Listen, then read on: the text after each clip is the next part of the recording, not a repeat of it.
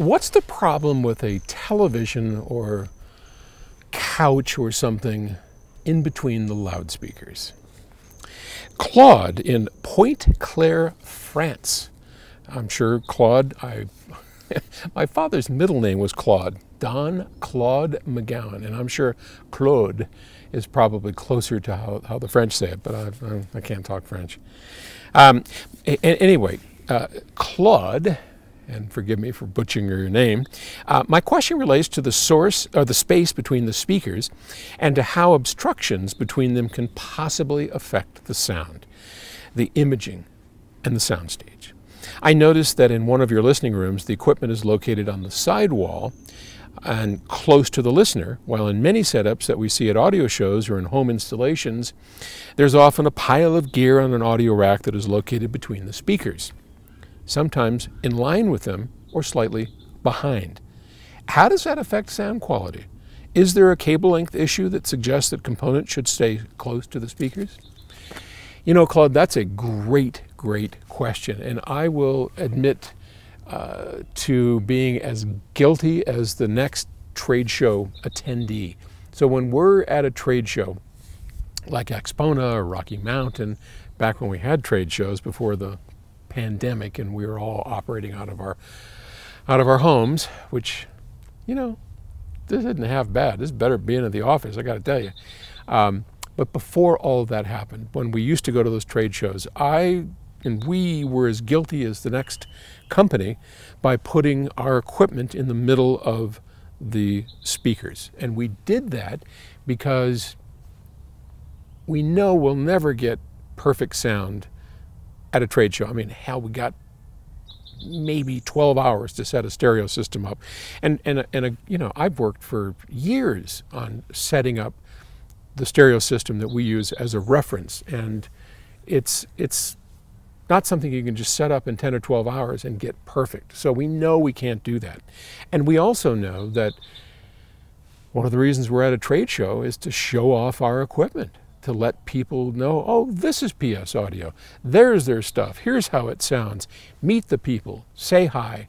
Here's PS Audio, right? That's what we're doing. So when you're sitting there listening at a trade show to the PS Audio system, I want you looking right at our equipment because that's that's why we're there. I want you to see our equipment. I want you to get to know us, right?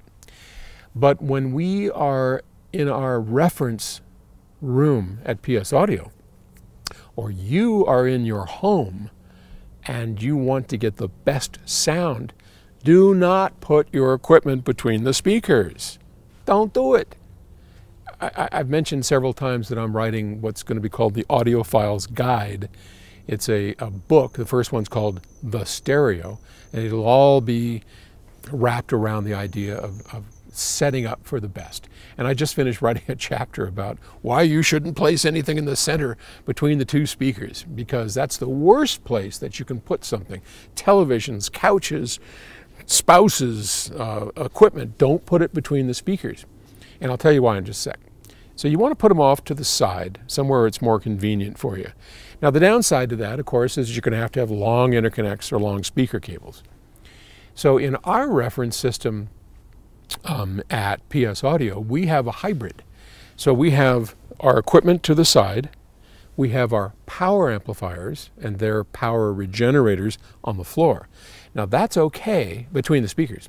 That's okay because it's on the floor, it's, it's about this tall, and everything that we're interested in listening to where the image should appear, that's free and clear, and that's what you want. But if you have a television in front of it, the, the sound, two things are going to happen. One, that's where this illusion of the musicians playing for us is supposed to appear. If there's a rack of equipment there or something that is distracting the eye, that illusion is hampered, number one. Number two, anything, especially like a couch or whatever, is going to have funny absorption and reflection patterns right where you don't want it. Because remember, Everything we hear in the room is a combination of the direct sound coming to our ears from the speakers and all the reflective sounds coming to us a little bit later. And if in the middle, where you know where the speakers combine and then shoot back and going to give us that beautiful center image, you're going to that that'll be challenged or hampered if you've got something obstructing that where those speakers cross over together um, in the middle. So don't do it. It's the worst place for it. That's why we do it at trade shows because, well, we can get away with it and we're not trying to come up with the world's best sound. We're just trying to say, hey, this is who we are and, and doesn't this sound great? And it does. But it can sure sound a lot better if we were to be more purist in that respect. All right. Thanks for the thanks for the question. Stay safe, my friends. This ain't over yet. Okay. I'll talk to you later you